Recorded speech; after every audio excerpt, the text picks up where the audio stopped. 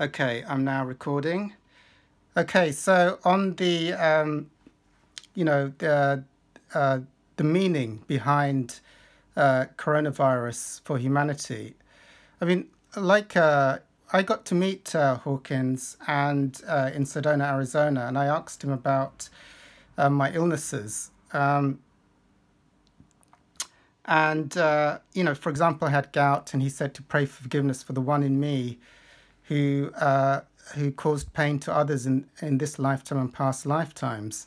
So for me, it's like when I have guilt, when I hold guilt, uh, unconscious guilt within myself, I attract an illness on an individual level. You know, all the anger and fear and repressed feelings that I hold, which block me off from God, you know, I will attract an illness or some kind of consequence for that.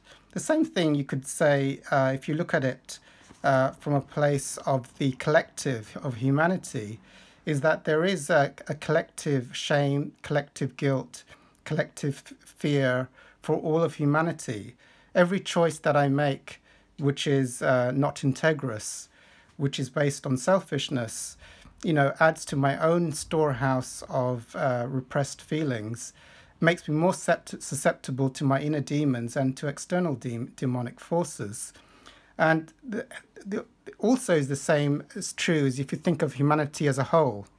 You know, uh, and you can actually um, calibrate the consciousness of the planet, the consciousness of a country, you know, the collective consciousness. And out of these collective fields of consciousness, of guilt and shame, uh, we attract collective illnesses and collective um, collective catastrophes which uh, then come to us as a, as a collective in countries and for the world globally. So, coronavirus for me, in my view, is just an aspect of the collective guilt, shame, anger, and and um, and uh, uh, um, uh, the collectiveness of all of humanity uh, re- relating to each other from a place of separation from anger, from greed, from shame. And out of this has come a collective illness. Um, to um, now, in terms of, we can look at it on a dualistic level. Is there a person to blame? Is it the demonic forces? Well, you can look at it from different different aspects. Of course, as an individual, when I make choices which are uh, non-integrous, I become sus- more susceptible to the, to my inner demons and to external demons, demonic forces. The same is the true of the collective. As we all make uh, choices which are not based on the light, on darkness, then uh, on an individual level, many of us or a few of us become susceptible to those uh, forces that become dominant within the collective. So coronavirus brings up, you know, uh, it's a call, you know, t- to some of us for bringing out the light in all of us, and for some of us, it's a fall from grace. With this added fear, many of us will fall into addiction, into temptation, into greed, um, so and and succumb to their inner demons and to the collective demons, demonic forces at play uh, within the world. So in terms of but whether you know you want to talk about it on an individual level or a collective level, um, talking about it, that's the way I would look at it. Is it is a collective manifestation of that. Now, some people will, you know, like uh, if you're more of a mystical person, um, my way often of, of healing what I perceive in the world is to clear it, clear my uh, perceptions of what's going wrong in the world in myself, and try and also, uh, or you know, if I have a perception that something is going wrong, there's collective guilt or collective illness in the world, I will first tend to clear it myself. I'll, you know, like with coronavirus, I'm clearing the, my belief in coronavirus in myself. I'm I'm also doing it for my father. You know, I I um, God did not create coronavirus in my father, so it's not real. I cancel my belief in coronavirus in myself. Um, you know, it's a lot of these illnesses that happen collectively are, are, are symbolic. What does the coronavirus symbolically mean? I mean, it's uh, you know, like what does low immunity uh, mean. It's almost like the um, the immunity.